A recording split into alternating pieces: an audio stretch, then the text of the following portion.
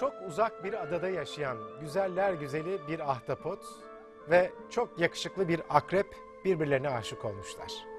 Fakat ikisi de birbirinden korkuyor. Ahtapot akrepten onu zehirli iğnesiyle sokar diye, akrepse ahtapotun uzun kolları onu boğar diye korkuyor. Fakat daha fazla dayanamayarak ikisi de birbirlerine kollarını uzatırlar.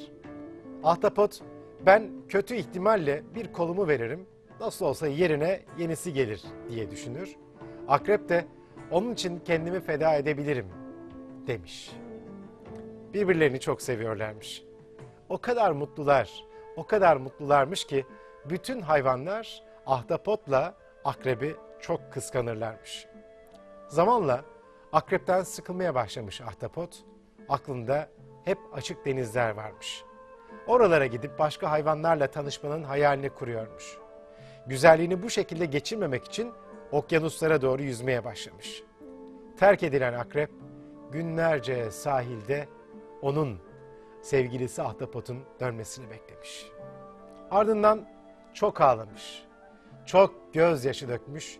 Fakat göz pınarları olmadığı için hep içine akmış gözyaşları. Okyanusların en güzel sularında süzülen ahtapotsa yeni yerler gördükçe işte gerçek mutluluk bu diye düşünür dururmuş.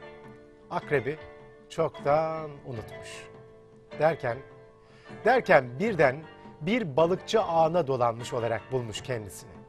Kurtulmaya çalıştıkça daha çok dolanmış ağlara. Onu gemiye çekmiş balıkçılar. Ahtapotun kollarını kesmiş, gerisin geriye denize atmışlar. Kesilen kollarıysa içki masalarında meze olarak kullanılmak üzere bir restorana satılacakmış. Tabi canı çok yanan ve ne yapacağını bilemeyen ahtapot eski aşkı akrebe dönmeye karar vermiş. Fakat kolları olmadığı için yüzemiyormuş bile. Terk edilen akrep ise onsuz olmaktansa ölmeyi tercih etmiş ve zehirli iğnesini kendisine batırmış. Diğer hayvanlardan yardım isteyen ak- ahtapot akrebe ulaşmak üzereymiş. Akrebin yanına vardığındaysa akrebin ölmek üzere olduğunu anlamış.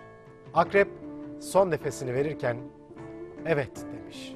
İşte ben bu güzellik için kendimi feda ettim demiş içinden.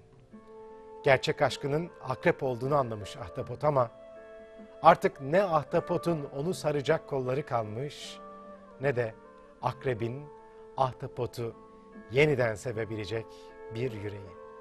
İyi geceler, hoşçakalın.